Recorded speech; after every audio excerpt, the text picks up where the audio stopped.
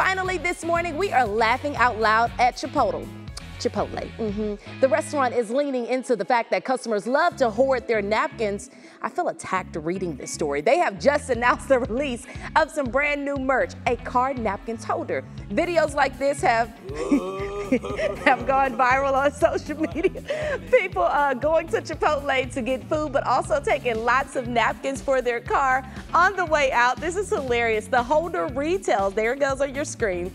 It retails for 30 bucks. It comes with a free entree gift card. Chipotle says it is perfect for storing all those extra napkins you unintentionally took from them.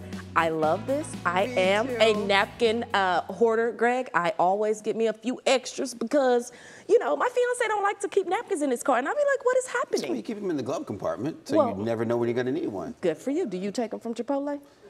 I get a few when I'm there. Yeah, he gets a few. I, I, get a few. Yeah. We need to have a few in the car. Y'all know how this goes. Let right. me know if you do that. Use the hashtag I am up. All right. we got.